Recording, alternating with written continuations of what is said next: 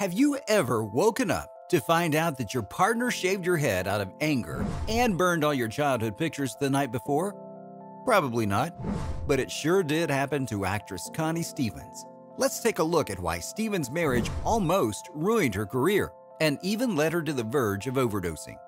Stevens saw a man get shot in front of her eyes at a very young age. Connie Stevens was born Concetta Rosalie Ann Ingoglia in 1938. Both her parents were musicians, but even though they might have seemed compatible at first glance, they were traumatizing for young Stevens as they used to fight regularly. Her parents eventually ended up getting a divorce, and Stevens chose to stay away from all the drama and live with her grandparents. She and her brother eventually attended Catholic boarding schools. While coming home from school one day, Stevens was waiting at the bus stop when she saw a guy right in front of her get murdered.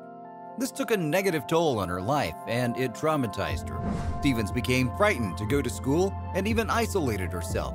Her family members became afraid of whether she would become mentally unstable in the future, so they sent her away to live with family friends in Missouri. Because she came from a musical family, Stevens became part of a singing group with Tony Butala called The Foremost. Tony later made a name for himself when he became the founder of The Lettermen. In 1953, Stevens believed she was ready to leave Missouri and move in with her father, who at the time lived in Los Angeles. She later joined another singing group called The Three Debs, while also attending the Georgia Massey Professional School in the San Fernando Valley. Her passion for music and entertainment beat the interest she had for school, and she managed to become a part of the local repertory theater. This new opportunity would lead Stevens to launch her acting career after she was discovered by a person that worked with Warner Brothers. From 77 Sunset Strip to Kookie Kookie, Lend Me Your Comb. After being discovered, Stevens signed a contract with Warner Brothers and made her first professional debut in a popular TV show called 77 Sunset Strip. Stevens then released a single with one of her co-stars, Edd Byrnes, called Kookie Kookie, Lend Your Comb. They sang the song on 77 Sunset Strip, and it instantly became a hit.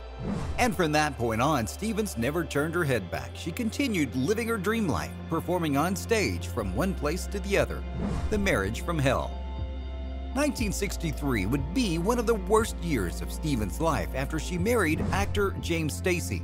The actor wasn't only abusive, he was also a psychopath, according to the actress. When Stevens spoke about the marriage in an interview, she said that James Stacy was her life regret. She revealed that he once burned all of her baby photos out of anger and also shaved a chunk of her hair while the actress was sleeping. And that was not all that Stevens had to face. She also had to deal with Stacy's severe mental and physical abuse. Her situation was sucking all the life she had in her. Stevens later finally got the courage to file divorce papers.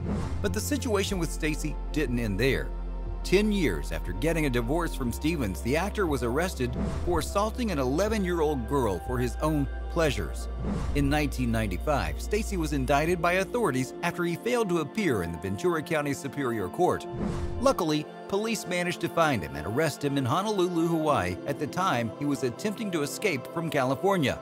From the looks of it, Stacy must have hated the idea of going to jail, as even after getting caught, he tried to attempt suicide by jumping off a building. The fall only led him to experience severe injuries and eventually made a full recovery after being sent to a hospital. After recovering, Stevens' ex-husband was sent back to California to complete his trial. The prosecutor at court was willing to give Stacy a light sentence, However, after finding out that the actor had other charges of sneaking into the homes of other young girls, he received a full sentence at the California Institute for Men at Chino. Stevens' life-threatening addiction. After her divorce from Stacy, Stevens met the pop singing star of the 1950s, Eddie Fisher, who gave the actress a series of other problems that she didn't need in her life. Fisher might have been a bit better than Stacy was, but he was not even close to perfect. Before meeting Stevens, he was involved in a hilarious scandal back in 1959 where he married Elizabeth Taylor only three hours after getting divorced from actress Debbie Reynolds. When Fisher first met Stevens, she was suffering from depression. Her divorce from Stacy had traumatized her and left her broke. To cope with the devastation, Stevens began taking pills, getting high, and attending parties. After meeting Fisher, the actress brightened up a bit and they soon entered a romantic relationship together. The pair found out that they were expecting a child only a couple of months after. Even though the baby was born, they didn't get married at first, after Stevens was still healing from her previous marriage. However, when she fell pregnant for a second time, Fisher took Stevens to Puerto Rico and asked for her hand in marriage. The couple eventually ended up marrying each other, but this didn't turn Fisher into a better family man. In fact, he would not stick around to support his family for much longer. Fisher eventually became addicted to injecting substances into his veins to get high and escape the daily life that had become monotonous. He reached so far as to do this in front of his young children. But Eddie was not the only one getting high in the family. Stevens followed soon after.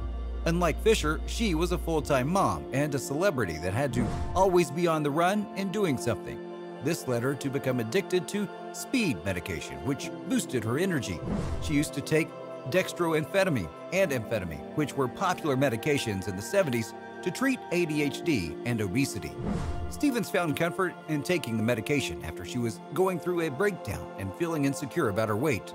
The pill not only made her slim down by decreasing her appetite, but it also gave her a boost in energy and confidence. She would eventually end up divorcing Eddie Fisher after both of them felt nothing for each other as the years passed. After her second failed marriage, Stevens decided that true love wasn't real and refused to keep searching for it. However, she did have a couple of short-lived romances with Neil Armstrong, Bill Medley, and even Elvis Presley. Her downfall in showbiz. After the 1980s, Stevens realized that her image was starting to diminish. Her bookings had reduced to more than double what they used to be in the 60s and 70s. This led the actress to reinvent herself. She soon started to collaborate with a beauty line she believed in. After finding the perfect beauty products, she made a great deal at the Home Shopping Network and released her brand called Forever Spring.